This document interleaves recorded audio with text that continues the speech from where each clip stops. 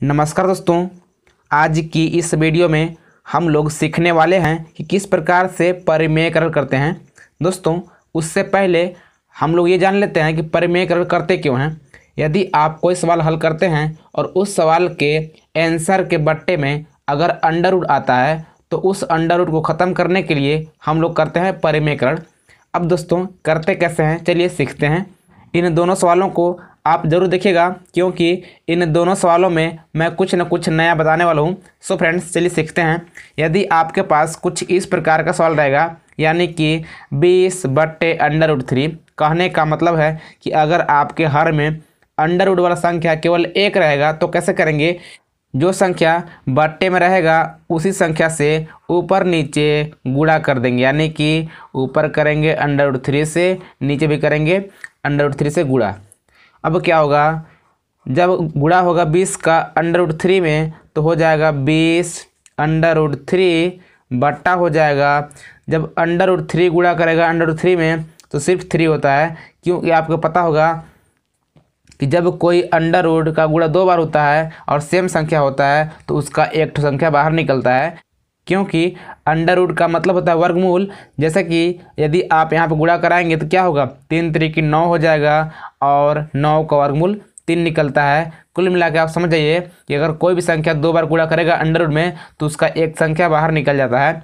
उसी प्रकार से ये हम लोग का हो गया आंसर। दोस्तों, यदि इस तीन से अगर बीस कटता तो काट लेते, लेकिन नहीं कट रहा है तो नहीं काटेंगे। ये हम लोग का हो जाएगा आंसर।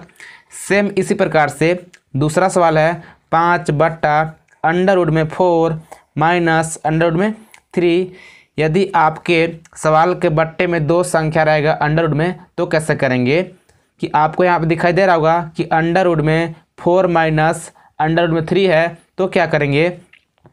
कि अंडर रूट में फोर प्लस अंडर रूट में थ्री से ऊपर नीचे गुड़ा कराएँगे। ध्यान दीजिएगा, पहले क्या था? पहले हम लोग के पास यहाँ पे माइनस था तो हम लोग करा रहे हैं प्लस से। अगर यहाँ पे होता प्लस तो कराते माइनस से।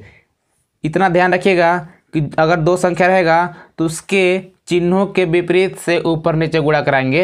यानी कि अगर यहाँ पे रहेगा माइनस तो कराएँगे प्लस वाले से। अगर रहेगा प्लस तो कराएँगे माइनस वाले से। कुछ इस प्रकार से करा लेंगे। अब दोस्तों, पाँच गुणा करेगा, इन दोनों में तो क्या हो जाएगा? पाँच कोष्टक में अंडर में फोर प्लस अंडर में थ्री यानी कि ये वाला पाँच अभी गुणा में है, बाद हम लोग करा लेंगे। इस प्रकार से अब क्या होगा, नीचे गुणा करेगा नीचे, यानी कि आपको दिखाई दे रहा होगा कि अंडर में फोर माइनस अंडर में थ्री दूसरे क्वेश्चन में है अंडर में फोर प्लस अंडर में थ्री, यानी कि ये फार्मूला बन सकता है ए माइनस बी और ए प्लस बी। अब दोस्तों, आपको पता होगा कि ए माइनस बी और A plus B A square minus B square का फार्मूला होता है। इसी प्रकार से हम लोग को यहाँ दिखाई दे रहा है कि यहाँ पे ए माइनस बी और ए प्लस बी है। तो इसको हम लोग लिख सकते हैं ए स्क्वायर यानी कि अंडर में फोर के स्क्वायर माइनस बी स्क्वायर यानी कि अंडर में थ्री के स्क्वायर कुछ इस प्रकार से हम लोग लिख सकते हैं। अब क्या करेंगे दोस्तों? कि ये वाला पाँच अपने स्थान पर रहेगा। और अंडर में फोर प्लस अंडर में थ्री। बटा क्या होगा? जब अंडर अंडरवुड फोर का स्क्वायर करेंगे तो कुल मिला के हम लोग के पास हो जाएगा सिर्फ़ फोर, क्योंकि स्क्वायर का मतलब होता है कि चार गुड़ा दो बार होगा कुछ इस प्रकार से। और हमने बताया है कि अगर कोई भी संख्या दो बार गुड़ा करता है अंडर में तो उसका एक ठो बाहर निकलता है, यानी कि सिर्फ़ चार हो जाएगा माइनस, इसका हो जाएगा तीन। अब क्या होगा? अब इसको आप सेम टू सेम इसी प्रकार से लिख सकते हैं। यानी कि ये वाला हो जाएगा पाँच अपनी जगह पर है और अंडर में फोर प्लस अंडर में थ्री बट्टे चार में से तीन घटेगा तो हो जाएगा एक।